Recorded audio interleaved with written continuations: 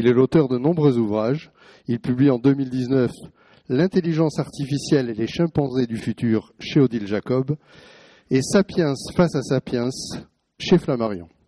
Son dernier ouvrage, Manifeste intemporel des arts de la préhistoire chez Flammarion, vous est présenté ce soir. Je vous demande d'accueillir Pascal Pic et très bonne fin de soirée.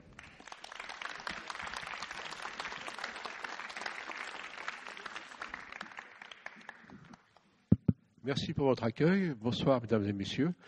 Alors, c'est vrai, quand je suis venu dans les éditions antérieures, anté-Covid, euh, à ce salon euh, qui n'est pas très grand, mais qui est quand même d'une très grande qualité euh, à la fois amicale et puis évidemment littéraire, j'étais un écrivain du Nord. Je, vivais en Picardie. Mais maintenant, je suis à Marseille. Vous voyez, je suis passé de l'autre côté. Je ne sais pas si c'est de l'évolution, ça s'améliore, mais en tout cas, je suis un écrivain du Sud. Alors, merci pour cette présentation. Euh, il y a dans ce petit fascicule donc euh, le fait aussi que j'évoque l'évolution du côté des femmes. En fait, j'ai sorti deux livres récemment. Il y en a un qui est là d'ailleurs, euh, qui s'intitule Et l'évolution créa la femme. Le seul livre qui regarde l'évolution du côté des femmes. Ça n'a jamais été fait. Et le suivant, qui est là, je crois aussi, qui s'appelle Comment la modernité, donc depuis la Renaissance, comment la modernité ostracisa les femmes. Et en fait, ces, thématiques sont, un peu liées parce que si vous allez sur Internet et que vous tapez euh, évolution de l'homme, ça, vous verrez des hommes. Et évolution euh, des femmes, ça, vous allez avoir du mal à avoir des images. J'appelle ça le complexe du dodo. Alors, c'est quoi le complexe du dodo? C'est un film extraordinaire sur la préhistoire qui s'appelle L'âge de glace dans l'âge de glace, vous avez fait un espèce de show avec les dodos, là, qui font un show à la Broadway. Euh, donc ils dansent, voilà, ils se marrent bien. D'un seul coup, paf, il y en a trois qui disparaissent dans un geyser. Alors ils continuent à danser, d'un seul coup, ils s'arrêtent, il y en a un qui dit Merde C'était nos trois dernières femelles. Eh bien, l'évolution de l'homme, c'est pareil. C'est le complexe du dodo. On se demande où sont passées les femmes depuis deux millions d'années. Euh, vous tapez l'homme et l'outil, alors ça, vous trouvez des hommes. Et quand, à une époque, j'avais fait euh, quelques livres pour la jeunesse, euh, j'avais demandé explicitement, hein, j'avais insisté, hein, je savais vers quoi j'allais, j'avais insisté sur un homme et une femme, deux artistes donc, qui peignent Lascaux. J'ai fini par avoir l'homme et la femme. C'est toujours l'homme qui peint Lascaux et la femme qui pile les pigments. Alors, dit comme ça, effectivement, sur ce ton-là, euh, je comprends que vous souriez, bien sûr, et c'est fait euh, intentionnellement de ma part. Mais attendez, ça veut dire quoi? C'est que depuis euh, que les petites filles lisent, que les petits garçons lisent, ils ont des livres où ils voient systématiquement les hommes avec des outils, les hommes à la chasse, les hommes qui peignent, les hommes euh, euh, qui ont des activités collectives, et puis les femmes qui sont toujours en train de s'occuper des gamins, de s'occuper du feu, etc. Et, de fait, après tout, bah, ça a toujours été comme ça. Or, on n'en sait strictement rien. Et les conséquences, ce n'est pas que pour la préhistoire. Les conséquences, c'est qu'aujourd'hui, ça a été dit, euh, euh, je suis très impliqué dans les nouvelles technologies et leurs impacts dans nos sociétés, parce que l'homme, l'outil, les humains et l'outil, donc c'est l'anthropologie, bien sûr. Alors qu'il s'agisse des silex ou qu'il s'agisse des smartphones, euh, c'est les mêmes problématiques. Les conséquences ne sont pas les mêmes. Mais de fait, aujourd'hui, les, jeunes femmes, dans les disciplines scientifiques, eh ben, réussissent mieux au baccalauréat, mais au moment de faire le choix vous savez, euh, Parcoursup et tous ces trucs, euh, la plupart d'entre vous, comme moi, n'ont pas connu, heureusement. Mais néanmoins, elles ne vont pas vers les métiers techniques parce qu'elles ont intégré cette image comme quoi, effectivement, ben, c'est pas les femmes qui peignent, c'est pas les femmes qui font de l'art, c'est pas les femmes qui font des outils, c'est pas les femmes qui font des techniques. Et ça, vous voyez, on a projeté dans le passé cette vision qui, aujourd'hui, on va le voir rapidement, n'est pas du tout validée et qui pose des difficultés dans le monde d'aujourd'hui. Alors pourquoi manifeste intemporel des arts de la préhistoire? Vous allez voir, c'est quand même une histoire assez euh, rigolote qui commence donc à la fin du XIXe euh, siècle. Voici les représentations des hommes et des femmes de la préhistoire. Franchement, on n'a pas, pas envie d'aller au avec eux. Hein. Et donc, il faut bien comprendre qu'on est à la fin du XIXe siècle, en pleine idéologie de progrès, et l'idée que, au moment où l'Occident domine le monde, bien sûr, l'idée est que bah, avant c'était moins bien, et puis demain ça sera mieux. Et à partir de là, on a euh, forgé une conception euh, complètement linéaire et euh, péjorative de l'histoire de l'humanité. Donc euh, l'Occident au sommet de ce que pouvait faire de mieux jusqu'à présent l'humanité. Et puis dès qu'on allait à rebours, eh bien ça se dégradait. Vous imaginez tout ce qu'on a ramassé, nous, dans la préhistoire. Vous l'avez devant vous.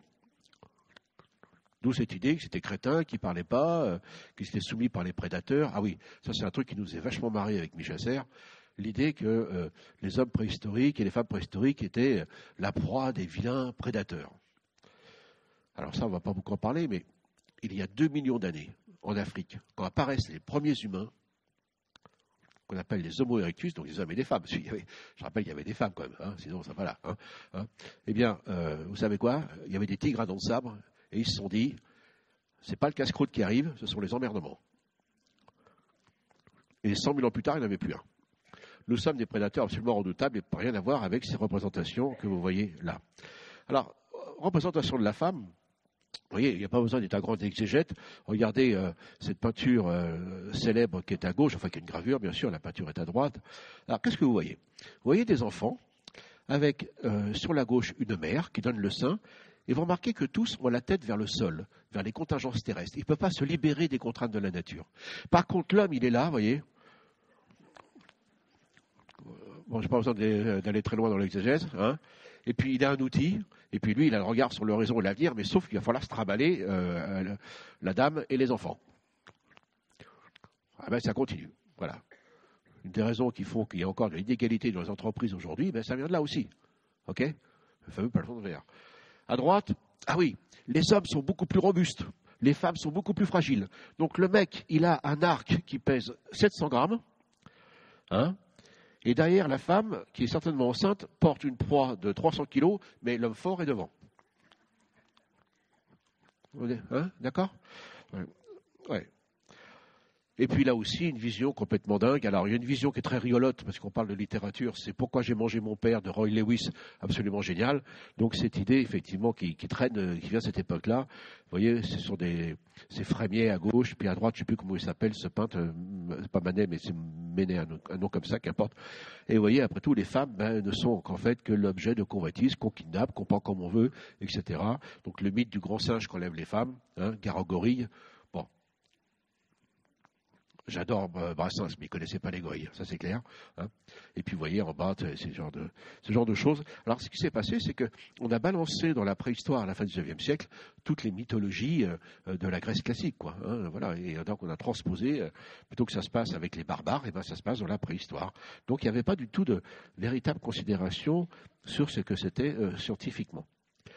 Et notre histoire va commencer en 1867. Je vous l'ai dit, on est en pleine idéologie du progrès. Paris, la ville lumière. Paris est le phare du progrès à la fin du XIXe siècle, début du XXe. Hein? Tous les Russes, euh, venaient à Paris, hein, les Russes appelaient Paris la Mecque des Russes. Alors bien sûr, on se rappelle de Diaghilev, on se rappelle de, Nijinsky, etc., euh, Chagall, mais aussi les scientifiques. Le deuxième prix Nobel euh, russe, Metchetnikov, était le premier sous-directeur de l'Institut Pasteur. Il y en avait beaucoup d'autres. Donc il y avait Paris était vraiment le, phare, avec la Tour Eiffel en plus, hein, de ce que devait devenir. Voilà, pardon, la Tour Eiffel c'est 1889, mais tout ça évidemment fait partie de la même série. Et en 1867, à l'exposition universelle de Paris, euh, sont présentés pour la première fois des outils euh, sortis des fouilles préhistoriques et cette plaquette qui vient de la grotte de la Madeleine, gravée d'un mammouth. Donc c'est en ivoire de mammouth et elle est gravée d'un euh, mammouth comme vous le voyez là. Et là, c'est un choc extraordinaire. Ce qui est important, c'est que ces outils taillés et également cette plaquette, qui est évidemment de, l'art mobilier, ne sont pas présentés dans une galerie de l'art, c'est présenté dans la galerie du travail que j'ai euh, euh, mise en haut à, droite. Et c'est l'idée qu'en effet, eh bien, oui, on découvre la préhistoire et qu'est-ce qu'on voit? Ben, C'est que l'outil, l'action euh, de l'homme sur la matière, euh, qui lui permet de s'extraire donc de sa condition de nature. Donc les philosophes ont beaucoup travaillé là-dessus, les homo faber, ça continue d'ailleurs. Eh bien, voilà, c'est tout à fait logique et que nous disent les préhistoriens, mais c'est qu'après tout, euh, bah, ça a commencé avant la Grèce classique, mais c'est toujours le même schéma en fait. Voilà, c'est toujours la même histoire. Hein. Il n'y a pas à, s'embarrasser de ça. Et puis un monsieur que vous voyez là, c'est le marquis de Sotuola. Il est de, Cantabrie, donc de nord de l'Espagne. il a visité l'exposition universelle, il a été vraiment fasciné. Il faut savoir que la préhistoire fascine. Hein. Dès que la préhistoire émerge, il y a des contestations, bien sûr. Est-ce que la préhistoire a existé? Ça conteste évidemment les textes de la Genèse, mais grosso modo, euh, même les prêtres, etc., ils y vont. Hein. Donc, euh, euh, à partir de là, donc, tout le monde perçoit qu'il s'est bien passé quelque chose qui embrasse des durées qu'on ne sait pas dater à l'époque, mais qui sont quand même absolument considérables, donc les âges de glace ou les âges glaciaires.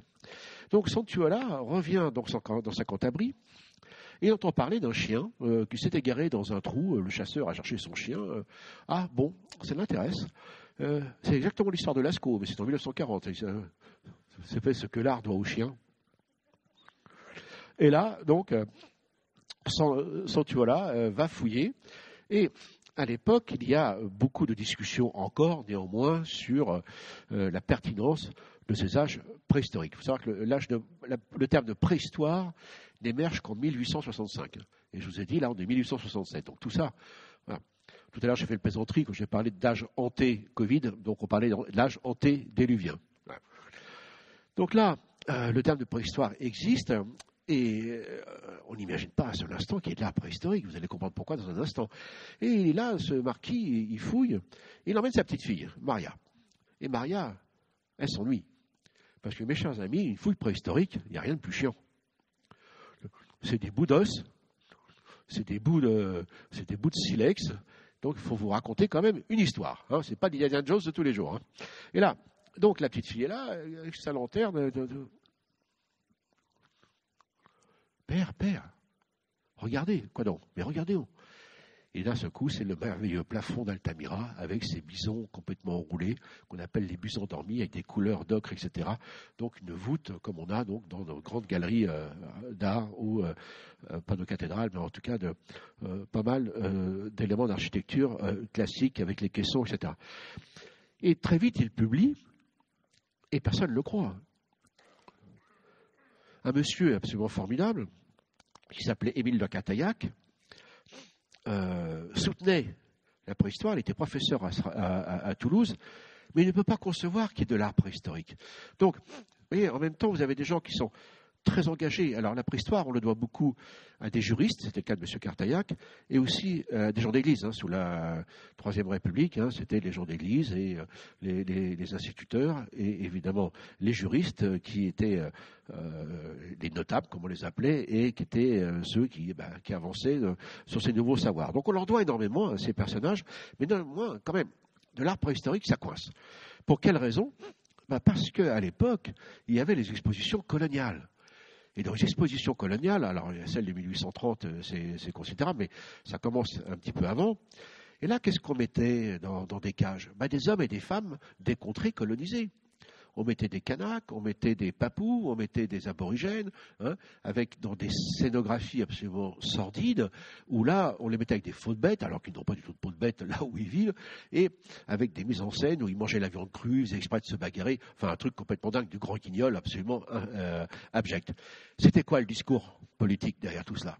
C'était, oui, ok, vous les prolos, vous les artisans, vous les gens qui travaillaient, euh, à l'époque hein, c'était pas 35 heures, hein, et puis la retraite c'était pas ça non plus. Hein, euh, c'était dire ok, vous en bavez peut-être dans les mines, dans les usines, dans les ateliers, mais enfin c'est quand même mieux que de vivre comme ces gens-là. Voyez le progrès quand même, hein Mais alors imaginez qu'il y ait de l'art, ça peut, ça peut plus marcher puisqu'on vous dit que ces hommes et ces femmes de la préhistoire étaient soumis aux éléments et qui couraient après le gibier, euh, qui n'étaient pas capables d'avoir une vie euh, qui permettait d'élaborer euh, des choses belles, même d'avoir un, langage à peu près élaboré, vous mettez de l'art là-dedans, il y a d'un seul coup, vous comprenez bien qu'il y a une contradiction majeure. Finalement, ça va être euh, l'abbé Breuil, premier professeur de préhistoire en 1929 au Collège de France, mais bien avant, qui va, euh, avec les chanoines Boussonnier et autres, dont il y a beaucoup de gens d'église, qui vont en effet euh, être parmi les grands pionniers de la préhistoire, et notamment donc M. Émile de Cartaillac sera invité par l'abbé Breuil au Combarel, cette fois-ci c'est dans le Périgord, parce qu'après le Tamira, on commence à trouver des tas de choses dans le Périgord, hein.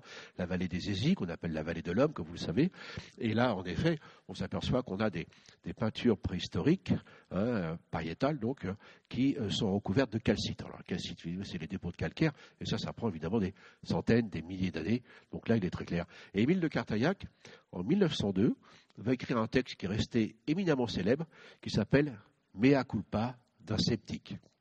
Mea culpa d'un sceptique. C'est quand même très beau, hein, de dire je me suis trompé. Mais cet homme avait de bons arguments, ceci dit. Mais là, voilà. Et à partir de là, donc, les arts de la préhistoire euh, rentrent vraiment dans le champ euh, des études de l'Antiquité de l'homme. Mais pas du tout encore dans les études sur l'Antiquité de l'art.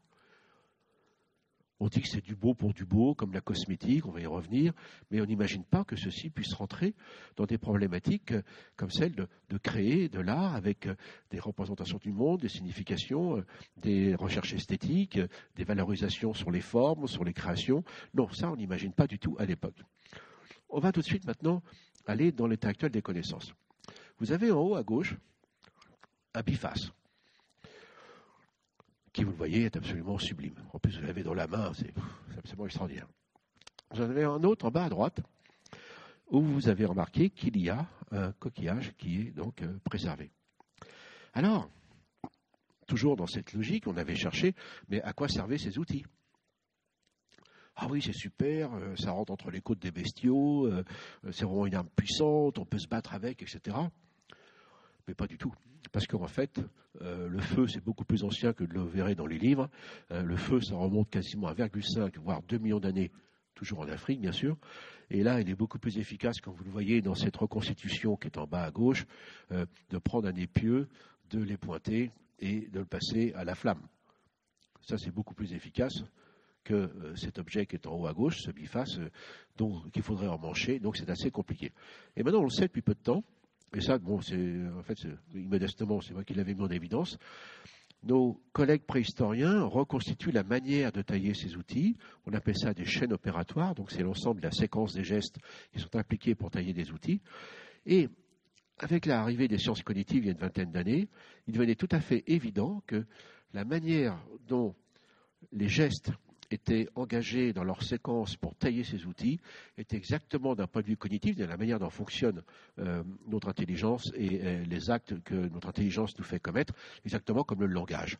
Et donc là, en plus, on a les squelettes, on a les boîtes crâniennes, on sait qu'ils ont un gros cerveau, ils ont des aires du langage. Donc vous voyez, on a les outils, on a les chaînes opératoires, on a aussi, euh, on sait qu'ils sont équipés d'un point de vue cérébral pour le langage. Donc tout ça, ça va ensemble. Et maintenant, on sait que ce sont des objets symboliques avec de la symétrie, de l'esthétique il, faisait des dizaines de kilomètres pour aller chercher les meilleures matières pour cela. Donc là, c'est pour ça qu'en fait, l'idée de faire du beau, de créer du beau, et même aussi de faire de beaux objets avec toute la valeur que peut mettre dessus en termes de compréhension, d'implication des artisans, hommes ou femmes d'ailleurs, et euh, de leur valeur symbolique et d'échange, on sait que ça servait d'échange, et eh bien tout ça, vous voyez, d'un seul coup, depuis, je vous dis ça, ça fait même pas 20 ans, tout ça nous projette quasiment vers 1,5 million d'années, alors que vous lirez des livres encore il y a quarantaine d'années, on pensait que c'était que nous, les sapiens, et les Néandertaliens étaient les gros abrutis euh, qu'on a vus tout à l'heure. Les Néandertaliens, justement. Alors, alors, vous voyez, comme on fouillait à l'époque, on y allait à la pioche et quand on entendait du bruit, tiens, on a un crâne. Donc ça fait un trou là. On fait plus ça maintenant. Hein. Bon. Euh, les Néandertaliens, euh, qui étaient toujours vus comme des imbéciles, ça fait même pas dix ans qu'on considère qu'ils sont une humanité tout à fait au même niveau que la nôtre. Ça, c'est très récent. Et pourtant, l'école de copains, enfin nous, ça fait 30 ans qu'on se bagarre là-dessus. Euh, et euh, ça y est, maintenant c'est bien admis grâce à la paléogénétique, mais c'était très long. Et vous voyez, les non-artéliens, ils avaient inventé une technique de taille de la pierre. Vous avez un objet là tout au milieu, vous voyez, en forme de triangle. Et en fait, si vous regardez de profil, il est extrêmement mince. Ils avaient inventé une technique de la taille de la pierre qui en fait préformait l'outil désiré dans un bloc, et ensuite, avec un plan de frappe euh, bien préparé, il détachait l'outil extrêmement mince. On appelle ça des outils sur éclat. Donc le biface que vous avez vu tout à l'heure, vous en souvenez, on prenait le bloc de pierre et puis on épluchait, si je peux dire. Donc on taillait. Là, c'est l'inverse. On prend le bloc, on préfigure l'outil et il sort. C'est quand même assez génial. Donc vous voyez bien un petit peu tout ce que ça implique en termes de cognition, de savoir-faire, de technique, euh, d'apprentissage, évidemment, de compétences, de transmission. Voilà. Et ce sont les non-arteliens qui ont inventé cette technique-là. Ça s'appelle le moustérien du site de Moustier. Euh, et ça, c'est la technique Levallois de Levallois-Perret. Bon, rien à voir avec les Balkany. Hein. Alors, ce qui est intéressant maintenant, c'est que, justement, quand cet art, ces arts de la préhistoire commencent à être connus, à la fin du XIXe siècle, vous savez, il n'y a pas besoin d'être historien de l'art, euh, il y a un académisme quand même qui euh, étouffe un petit peu la, création dans la sculpture et la peinture. Donc c'est là, vous connaissez l'histoire des impressionnistes, alors euh, pour parler de montagne, c'est une victoire quand même. Hein. Et, donc là, euh, il y a ces salons des indépendants et, on sent bien qu'il y a un grand mouvement euh, qui veut s'émanciper de l'académie. L'académie, si vous êtes allé au musée d'Orsay d'ailleurs, à Paris, c'est intéressant, quand vous êtes dans les étages du bas, vous êtes vraiment dans l'académisme et le pompier, et plus vous montez dans les étages, plus vous arrivez vers les impressionnistes. Donc à cet égard, le musée est, très bien fait. Et en définitive, les impressionnistes ne sont pas intéressés hein, par les arts euh, ethniques, ils ne sont pas intéressés, les impressionnistes, par les arts de la préhistoire. Ce sont vraiment les artistes contemporains, bien sûr Picasso, comme toujours, mais là, il va y avoir un engouement extraordinaire, c'est-à-dire que euh, autour de la, Première Guerre mondiale, et ensuite tous les, nos grands artistes contemporains vont être fascinés par les arts préhistoriques. Et vous allez voir les, correspondances qui sont absolument fascinantes. Là, j'en ai mis une. Vous avez ce bel éclat donc euh, euh, moustérien, donc de technique levallois, et à côté, donc une œuvre contemporaine dont je ne me souviens plus du tout de qui a fait ça. Mais euh, il arrive le moment où, pourquoi j'ai appelé ce livre Manifeste intemporel des arts de la préhistoire ben, Parce que cette forme à gauche et cette forme à droite, eh bien, nous provoquent chez nous des mêmes émotions esthétiques. Euh, en fait, euh, ce côté intemporel, il est lié à nos capacités cognitives, qui sont extrêmement anciennes, bien sûr, qui remontent, euh, bien sûr, bien avant cette époque-là, qui font qu'on est capable, face à de tels objets, on sait que c'est créé par des humains, c'est pas des objets de la nature, bien sûr. Alors à droite, c'est évident, mais même à gauche, c'est très facile à reconnaître, hein, d'une certaine manière. Eh bien, on s'aperçoit qu'effectivement là, il y a autour de la forme cette façon dont nous, touchons nos émotions. C'est Pierre Soulages hein, qui vient de nous quitter, comme vous le savez, qui, parlait de cette, émotion intemporelle. Il, aimait beaucoup l'art préhistorique. Et là, évidemment, c'est manifeste, c'est qu'à le dire. Euh, nous euh, ressentons les mêmes vibrations. Alors certains me disent, sur les arts préhistoriques, ouais, mais t'as pas la signification de ce qu'ils faisaient. Euh, franchement, vous allez dans une exposition d'art contemporain, si vous n'avez pas l'explication de l'artiste, vous pouvez être mal barré pendant un petit moment. Hein. Donc attention euh, aux biais qu'on peut avoir par rapport à ça. Et les non-artaliens, bien sûr, euh, enterraient leurs morts. Et donc là, il y avait des enjeux absolument considérables autour de, de, l'esthétique, que ce soit pour les vivants et pour les morts. Et euh, vous avez à gauche une pierre en bauxite rouge, qui est absolument en quartzite rouge, pardon, que bêtement, je trouve, nos collègues espagnols ont appelé euh, Excalibur. Rendez-vous compte, il y a 400 000 ans, pas loin d'Altamira, à Atapuerca, nos collègues euh, préhistoriens et paléanthropologues espagnols ont mis au jour euh, une sépulture, enfin pas une sépulture, une chapelle ardente, en sens du terme, qui s'appelle le Puy aux ossements, où là ils ont retrouvé les restes d'une trentaine d'individus, 28 exactement, des hommes, des femmes, des enfants, des deux sexes. Et là, il fallait traîner les corps des défunts sur des dizaines de mètres dans des petits euh, goulot quand même pas très accessible et pas très facile pour les déplacements. Et au milieu de ces ossements, il y a donc Excalibur, donc qui est là, et c'est en fait euh, une matière qui est très peu, qui est pas du tout utilisée. Et évidemment, cet objet qui est absolument magnifique est une offrande. Et vous êtes bien assis, 400 000 ans avant aujourd'hui. Alors, je vous donne des dates, mais quand je dis 400 000 ans, c'est forcément avant Jésus-Christ, d'accord hein Parce que quelqu'un un jour me dit, euh, c'est quoi l'âge de Lucie? J'ai 3 125 000 ans. Vous pouvez répéter? 3 125 000 ans. Waouh Alors on lève la main, la personne elle dit Mais avant ou après Jésus-Christ? Prenez votre temps. Et là, toujours en Espagne, vous avez, euh, titre d'un livre d'ailleurs, Chodil Jacob, qui s'appelle le collier, le collier de Néandertal. Donc il y avait une appétence, un goût pour des objets insolites, jolis, transformés au pas. Euh, les Nandartaliens qui étaient à Arcy-sur-Cure, alors on est dans le Morvan, c'est en France, et vous vous rendez compte, ils avaient une, euh, une hutte dont l'entrée, qui donne sur une petite grotte, l'entrée c'était un couloir euh, qui était fait avec des défenses de mammouth. C'est quand même très smart, hein coûte très cher aujourd'hui. Et là, on trouve au milieu des sites archéologiques, on trouve des, trilobites. Les trilobites, ce sont des espèces de crustacés, entre guillemets, qui ont disparu depuis plus de oh, presque 300 millions d'années, qui datent de l'ère primaire.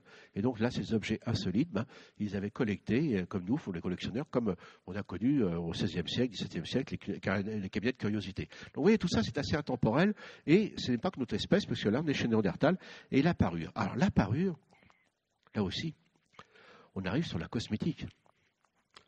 Et je vous rappelle que cosmétique, c'est la même étymologie que cosmos. Et nous, il n'y a pas, pas une qui est habillée pareil ici. Et la manière dont nous nous comportons, c'est-à-dire que nous sommes les seules espèces, mais depuis Homo erectus, on le sait maintenant, ça, depuis peu de temps, hein, depuis plus d'un million d'années, en fait, nous sommes les seules espèces qui transforment leurs apparences par les coiffures, les maquillages, les tatouages, les scarifications, les, coiffures, bien sûr, les, les habits ou autres. Donc, la cosmétique, ça veut dire quoi? Eh bien que, pour diverses raisons, euh, les hommes et les femmes, depuis au moins un million d'années, depuis au moins un million d'années, eh bien, protègent leur corps. On peut se couvrir le corps avec, par exemple, des cendres ou de l'ocre. On trouve de, l'ocre, euh, euh, du visage de l'ocre qui remonte quasiment un million d'années en Afrique, pour des raisons prophylactiques, hein, éviter les insectes, etc. Mais une fois que vous avez de la cendre sur vous, par exemple, vous faites des traits, hein, et la tentation est là, bien évidemment. Et puis, bien sûr, chaque société a des, codes. Il y a des injonctions pour euh, s'habiller ou avoir des scarifications ou avoir des tatouages d'une manière ou d'une autre. Puis il y en a d'autres qui sont des transgressions, euh, d'autres qui sont euh, évidemment pour le plaisir ou autre. Ben, tout ça, la cosmétique, c'est très important parce que aujourd'hui, le terme de cosmétique, ça veut dire c'est superficiel. Oui, ça touche la surface, on est d'accord. Mais derrière cela, c'est quelque chose de beaucoup plus profond parce que ça concerne évidemment nos rapports au monde et nos rapports aux autres. Et évidemment, les, chez Néandertal, on le retrouve comme les autres espèces. Néandertal aussi, vous voyez, il y a une coquille Saint-Jacques, c'est sympa. Vous avez des, stries, alors en a qui essaient de trouver des interprétations, ok. Euh, vous avez euh, en haut à gauche, ce sont des cerfs, euh, alors ce sont, ce sont des oiseaux de proie qui sont proches des buses, mais ça, ça vient du Goslavie. Et toujours de, de Slovénie, à droite, vous avez une flûte. Eh ouais. Alors, on a tout fait pour pas que ce soit une flûte. Vous ne pouvez pas imaginer que Néandertal puisse avoir une flûte, faire de la musique. Hein. Je rappelle que nous, tous là dans cette salle, hein, vous avez des gènes de. C'est parce qu'il y en a qui a joué de la flûte et qui a séduit maman Cro-Magnon. Mais, ok, puis dans l'autre sens, bien sûr. Alors, il y en a qui me disent, écoute Pascal, c'est pas, c'est pas une flûte, ce sont les traces de crocs d'un carnivore. Alors, hey, pas de bol, je suis un spécialiste de biomécanique crânio-faciale. Alors là, dans un dîner en ville, ça fait bien. Hein je ne peux pas le placer avec les auteurs ce soir. Hein. Biomécanique crânio-faciale, non, là, non, pas pour nous. Bon, et en tout cas, ça veut dire quoi? Jamais un carnivore ne peut utiliser ses canines pour faire ça. Hein. Même vous, vous le savez, mais les préhistoriens ne savent pas. Donc, euh, tout ça, voilà. Donc, en fait, ils ont quasiment inventé toutes les formes d'art. Euh, voici euh, toujours chez Néandertal. J'insiste sur eux parce qu'on en faisait des gros crétins, comme je vous l'ai dit. Là, vous avez 170 000 ans à nickel, un cercle de pierre quand même assez étonnant au fond d'une grotte. Hein, il fallait y aller, aller à plusieurs centaines de mètres de l'ouverture. Et là, vous avez en Espagne toujours des, colorations. Euh, ben, vous savez, quand on va dans nos cathédrales aujourd'hui, c'est plutôt terne, mais il faut savoir que nos cathédrales étaient peintes, hein, bien sûr. Hein. tout ça, ça a disparu. Donc voilà. Alors, qu'est-ce que je suis en train de vous dire? Néandertal, c'est pas le crétin qu'on imagine. Hein, il, serait dans la rue, euh, sur le, cours Mirabeau, personne ne ferait la différence. Et même, je crois que les jeunes filles se diraient, il est quand même pas mal beau mec. Hein. Bon, voilà, bon, ça vaut ce que ça vaut, cette représentation. Mais vous savez quoi, quand j'ai écrit un petit bouquin qui s'appelle, c'est pour m'amuser, Le retour de Madame Néandertal, je n'ai jamais pu obtenir une couverture avec une femme de Néandertal qui soit moderne même Odile Jacob était contre ça. Non, non, ils n'étaient pas comme ça. On n'en sait rien. Hein. ils avaient des parures, ils avaient des tatouages, pour les vivants comme pour les morts. Pourquoi ils auraient ces airs de locteux? On les représente toujours comme des espèces de SDF, improbables des grottes. Mais c'est aberrant, vous voyez en tout cas encore le poids de cela. Je ne veux pas les faire plus beaux qu'ils l'étaient, mais il n'y a aucune raison qu'ils étaient aussi moches qu'on les présente quand même. Surtout qu'on voit tout ça. Hein. Et ça, c'est Denis Sauva. C'est une espèce, alors c'est très mystérieux, c'est une vingtaine d'années maintenant, enfin non, plus de 11 ans. Nos collègues russes ont trouvé, donc, euh, équipe internationale toujours, euh, des, ossements dans l'Altaï, au sud de la Sibérie, où là on connaît une autre espèce humaine. Alors nous, les Européens, on n'a pas de gène 2, mais toutes les populations qui sont à l'est de l'Asie et plus loin vers le Pacifique ont des gènes de Denisova. Et euh, c'est formidable parce que cette espèce est connue par l'ADN et très peu par les ossements et les dents. Mais on sait qu'ils étaient là. Et Là aussi, à Denisova, on a donc, vous voyez, euh, là vous avez en en, à droite, c'est de la, la, serpentine. En fait, c'était tout un, tout un bracelet, il reste qu'un morceau. Vous avez de l'ivoire, vous avez des dents qui sont percées, etc. Donc en fait, je suis en train de vous dire qu'il faut imaginer qu'il y a 100 000 ans, 100 000 ans, 100 000 ans, il y avait trois espèces humaines qui étaient contemporaines. Nous, les sapiens, sur l'Afrique et le sud du Proche-Orient. Néandertal sur l'Europe et la Russie actuelle, jusqu'en Sibérie. Et sur l'Asie de l'Est et du Sud-Est, vous aviez les Denisoviens. Selon les populations humaines actuelles, nous avons des gènes des uns et des autres. Mais surtout, ce qui est intéressant, c'est qu'on a trois espèces différentes qui, toutes les trois, en tout cas, partagent ces enjeux de cosmétiques, de parures, de préoccupations autour des morts, etc. Donc tout ça, ça veut dire que ça remonte à 500 000 ans, voire un million d'années. On est en train de les chercher. Alors, un grand changement arrive avec l'arrivée de Sapiens. Sapiens, c'est vous et moi. Hein, et nos origines, comme vous savez, sont africaines. Et alors, quand on a découvert la grotte Chauvet, déjà, vous vous souvenez, ça fait un petit bout de temps quand même, la grotte Chauvet, hein, mais c'était un choc, parce que Lascaux est daté de 13 000 ans, voire 19 000 ans maintenant. Alors, quand on arrive vers 10, 12 000 ans, 19 000 ans, on met toujours, avant Jésus-Christ ou pas, à 2 000 ans près, mais qu'importe, ça ne change pas grand-chose. Et, et, là, la grotte Chauvet, c'était un choc, parce qu'on s'aperçoit qu'en fait, c'était déjà beaucoup plus ancien que Lascaux. En gros, mes amis, entre Chauvet et Lascaux, il se passe autant de temps qu'entre Lascaux et nos musées d'art contemporain. On se rend compte qu'on est sur des durées quand même assez vertigineuses. Cosquer est entre les deux. Et là, Cro-Magnon, il est à gauche, c'est vous et moi, en plus costaud quand même, et plus beau gosse. Hein. Je suis désolé de vous le dire, mais ils ont d'ailleurs, euh, non, il est à droite. Excusez-moi. Il y en a qui suivent. Hein. Merci. Et il a les, il a les orbites en, en 16 neuvième. C'est peut-être pour voir l'art pariétal. C'est idiot. Hein. Et à gauche, c'est Néandertal. Il faut savoir qu'ils avaient des cerveaux plus gros que les nôtres. Néandertal, c'est 1700 cm3. Nous, on est à 1300. Et Cro-Magnon, c'est vous et moi. Ils étaient à 1500. Alors, qu'est-ce qui s'est passé? Ben, On est devenu beaucoup plus gracile et on a perdu un peu de cerveau depuis l'invention des agricultures. Mais en attendant, c'est intéressant, euh, si on s'intéresse à l'histoire de l'art, j'ai présenté cette conférence à Nîmes il n'y a pas longtemps, et une professeure d'histoire de l'art, m'a dit, mais ça bouscule tout ce qu'on nous a appris. Hein. nous, on apprend que c'est le Quattrocentro, un petit peu avant, euh, euh, que est arrivé la perspective. Et là, d'un seul coup, vous avez euh, quand même cette charge euh, il y a aussi celle des rhinocéros à, à Chauvet. Et là, euh, c'est quand même parti de là, ce, ce, livre avec euh, mon amie éditrice, c'est qu'il y a depuis quelque temps quelques expositions remarquables qui, justement, essayent de retrouver ce qui a été cette formidable euh, influence euh, entre euh, vraiment la compréhension de plus en plus claire des arts de la préhistoire et tout ce qui a été l'art contemporain. Et il y a eu une exposition à Beaubourg, euh, grand, qui était sous-titré Les arts de la préhistoire, une énigme euh, contemporaine. Euh, si vous allez voir euh, l'Ascocat, qui est très bien reconstitué, si vous ne l'avez pas fait, allez-y, c'est formidable. Il, y a une salle qui, a été mise en place sous la direction du philosophe Jean-Marc Jouary entre l'art contemporain et l'art de la préhistoire. En ce moment, au Musée de l'Homme, vous avez une très belle exposition sur les arts de la préhistoire. Et là, en ce moment, il vient d'ouvrir depuis à peine un mois une exposition entre les arts de la préhistoire et Picasso. Donc voilà. Donc on en est, on en est là. On est en train de retrouver euh, tout cela. Et c'est dans, cet esprit que moi, j'ai proposé dans le livre euh, vraiment une approche qui n'est pas celle de l'histoire de l'art, qui n'est pas celle de la préhistoire, qui est vraiment une approche évolutionniste. Alors, je ne vais pas vous embêter avec les théories de l'évolution, mais qui donne un regard radicalement différent de ce qu'a été les inventions des arts dans l'histoire de l'humanité et ces aspects absolument fascinants qui nous semblent complètement intemporels parce qu'en en fait, ils ont la même modernité que ce soit pour les arts du XXe siècle ou même ceux d'aujourd'hui et ceux du XIXe siècle. Là, vous avez Lascaux, donc avec les techniques de l'anamorphose, la salle des taureaux, c'est absolument magnifique. Et en haut à droite, c'est en fait Pollock, qui évidemment n'est pas connu pour ce genre d'œuvre, mais qui est intéressé aussi par, des, par, ces, par ces taureaux. Or, quand même fascinant, on connaît la fascination des hommes et des femmes de la préhistoire pour les aurochs et les taureaux. Vous les avez là en bas à droite.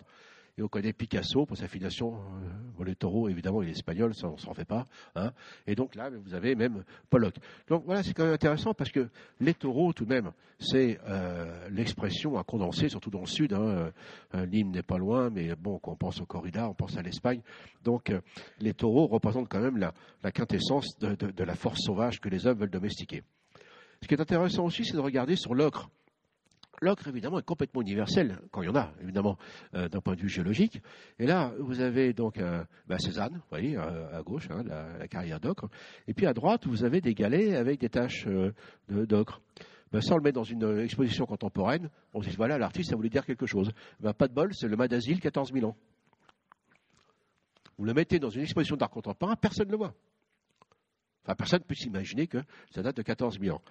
Alors, je ne suis pas en train de dire que les uns ont pompé sur les autres, enfin, en tout cas, les, contemporains ont pompé sur les autres, mais on voit bien que c'est ça que veut dire manifeste intemporel, c'est qu'on s'aperçoit que ces œuvres, effectivement, ont euh, une permanence, une constante euh, dans la manière de euh, nous éblouir.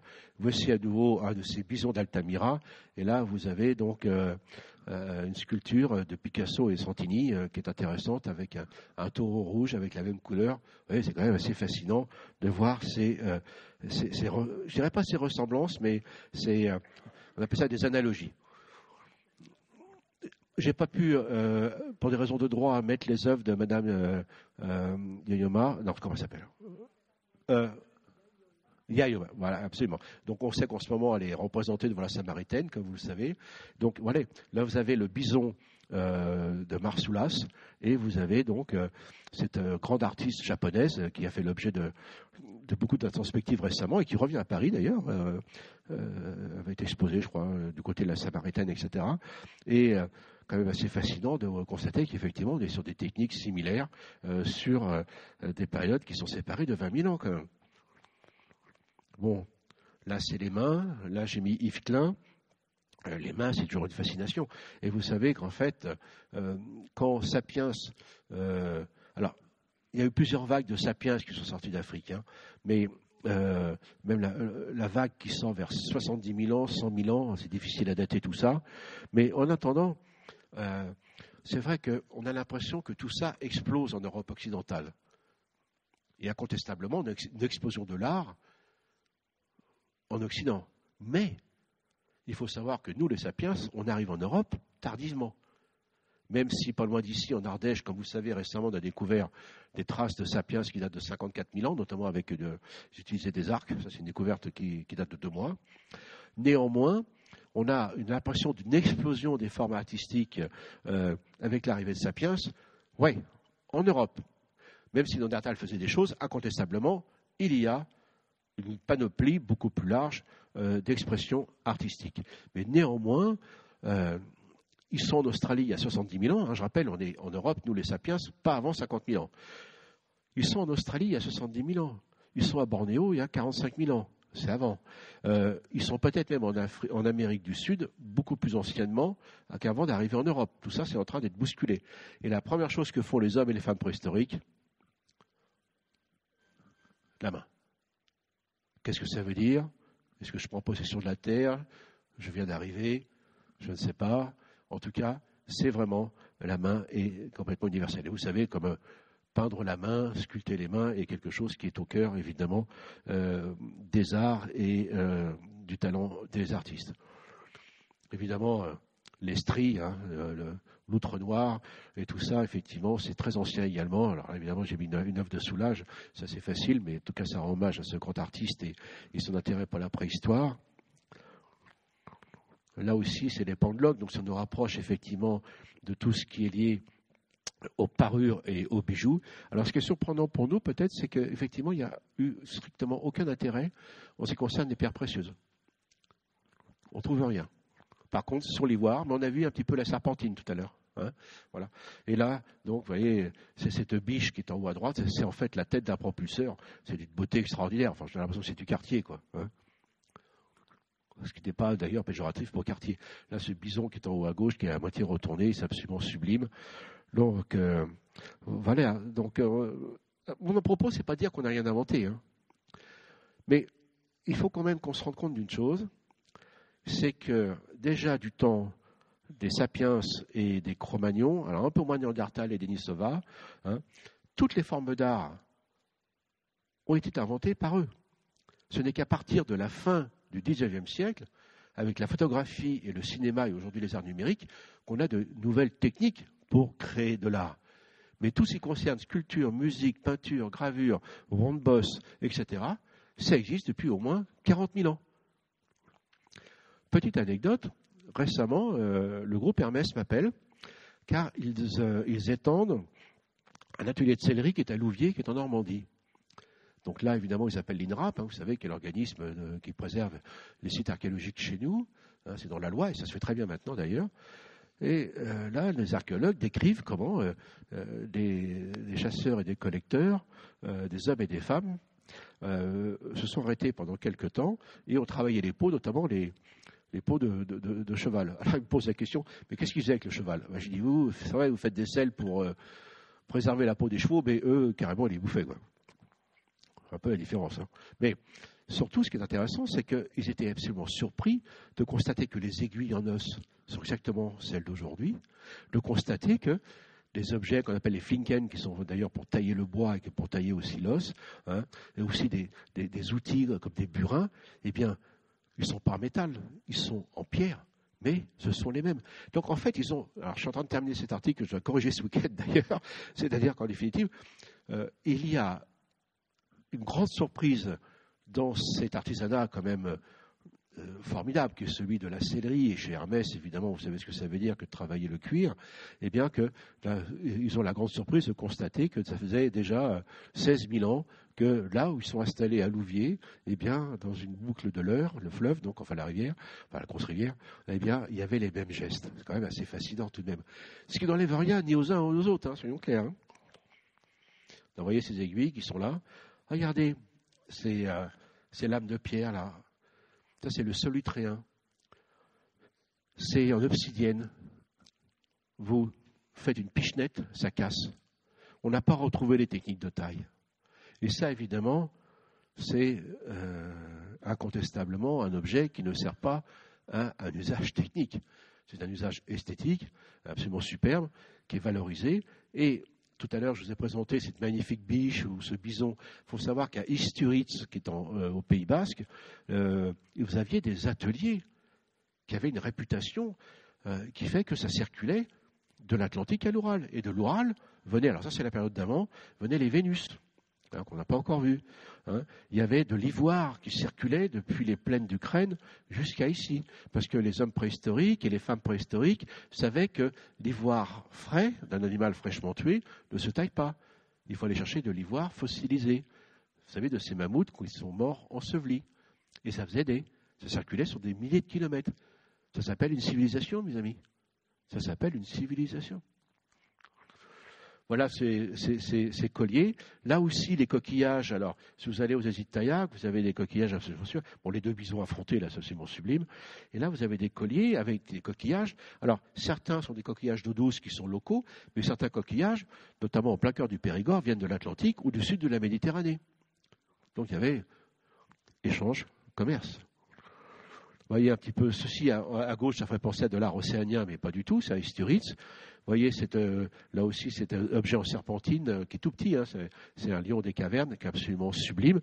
Là aussi, vous voyez, c'est une broche, des pendeloques. Euh, bah, c'est ce qu'on retrouve chez nos plus beaux créateurs. Là, c'est étonnant parce que vous avez en fait une découverte très récente du côté de Brest, qui est à gauche. Très curieux d'ailleurs, vous avez un, bison en haut à gauche, là, avec des traits comme si c'était le soleil levant.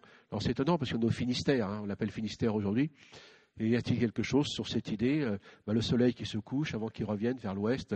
J'en sais rien, là, franchement, mais en tout cas, c'est intéressant, parce qu'il n'y a que là qu'on le voit. Et à droite, donc, vous avez une œuvre qui s'appelle Silex de, Fernand Léger, donc qui est quand même assez étonnante, mais qui est sur du papier velin. Euh, Voilà. Là, c'est la conque de Marsoulas. Or, ce coquillage, qui est de grande taille évidemment, il vient du nord Atlantique. Et en fait, euh, Marsoulas, c'est euh, dans l'Ariège. Vous voyez comme ça circulait, et puis donc ça avait été décoré. Là, vous avez des bâtons là qui, euh, ressemblent à des flûtes. Alors là, on est d'accord, c'est Cro-Magnon, donc ça jouait de la musique. Là aussi, les symboliques sexuelles. Alors on s'aperçoit que les obsessions, c'est pas d'aujourd'hui, hein, mais on n'a pas attendu Freud. Hein. Et, là, donc, vous avez des, œuvres qui évoquent effectivement la sexualité. Et euh, là, cette œuvre qui est en haut à droite, donc qui est assez troublante d'ailleurs, parce que euh, ça pourrait faire penser à les organes génitaux masculins, mais la manière dont c'est agencé, ça peut faire penser aussi euh, à la partie inférieure du corps des femmes. Enfin, tout ça, c'est très confus et c'est très amusant parce que, en effet, vous avez des représentations qui, sont très liées à cela, qui ressemblent beaucoup à ce que l'on a aussi dans, le cadre de la préhistoire. Là aussi, c'est intéressant. Euh, c'est la fameuse Vénus de l'Ocel qui, en fait, qui a été peinte. Et à gauche, vous avez donc un, croquis de Giacometti. On connaît les œuvres de Giacometti avec ces hommes et, euh, qui sont. Et là, Giacometti, donc, euh, il est allé très inspiré par l'Ocel, vous voyez. Alors qu'en fait, Giacometti, on l'imagine toujours avec des personnages émaciés, linéaires, que vous connaissez très bien. Et là, il a été quand même complètement séduit par des formes radicalement différentes. Là, c'est la tombe de Schengir, trouvée en 1957 en Ukraine. Et à votre avis, euh, sur la photo de gauche, c'est quoi ces petits points blancs? Des perles? Des perles de, euh, en quoi? Pardon? C'est des perles en ivoire de mammouth. Il y a quatre, vous les voyez à droite, il y a quatre euh, individus ensevelis, un homme et une femme de, de la trentaine, quarantaine, et ensuite deux préadolescents. Et les préadolescents, en fait, étaient handicapés. Et déjà chez Nandertal, on le savait, dans ces sociétés, les handicapés euh, faisaient l'objet, d'après les connaissances que l'on a et les vestiges que l'on a, bien sûr. Les handicapés ben, avaient euh, quasiment la même durée de vie que les autres euh, et faisaient l'objet des mêmes préoccupations et des mêmes soins pour être ensevelis. Et donc là, c'est évidemment celui qui est à gauche, verticalement, c'est le plus spectaculaire. Vous avez sur le front un diadème en, fait en, en canine de renard polaire. Et en fait, ces perles ont été cousues sur des vêtements qui ont complètement disparu. Alors là aussi, oubliez un petit peu les peaux de bête improbables. Parce qu'on sait qu'il y avait du tissage. On commence à découvrir des traces de tissage. Le raffia, le bambou ailleurs en Asie, etc. Donc, vous voyez, tout, ce monde est en train d'être bousculé complètement euh, par rapport à nos nouvelles conceptions, surtout qu'on s'est débarrassé le 19e siècle. Alors, nos collègues préhistoriens ont évalué le nombre d'heures de travail pour faire ça. 30 000 heures. Donc, imaginez que ces hommes et ces femmes, ils n'avaient pas une espérance de vie qui était très longue. Par contre, ils étaient plus costauds que tout, hein, ça je peux vous le dire. Hein. Alors, il y a un petit dessin humoristique qui traîne. Vous avez des hommes et des femmes de Cro-Magnon qui sont devant une grotte, ils discutent. Euh, ils sont dit, il y en a un ou une qui dit, vous savez, c'est quand même bizarre. Euh, nous avons une vie saine. On a beaucoup d'activités physiques. On mange de la nourriture naturelle. Et pourtant, on crève avant 40 ans. Hein? Bon, ok. Donc, on ne peut pas tout avoir. Et en attendant, ça veut dire quoi? C'est quand même, euh, vous savez que le temps d'arriver à l'âge adulte est long chez nous. Il faut imaginer, mesdames et messieurs, que ces hommes et ces femmes, ils passaient la moitié de leur, temps, de leur vie à devenir adultes, et l'autre moitié à avoir quelques enfants et disparaître avant 40 ans.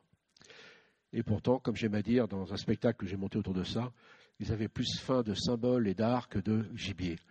On n'a aucune trace de cancer, aucune trace de tuberculose. On n'a aucune trace de nos maladies aujourd'hui qui, euh, surtout la moyenne d'âge dans cette salle, qu'on connaît bien.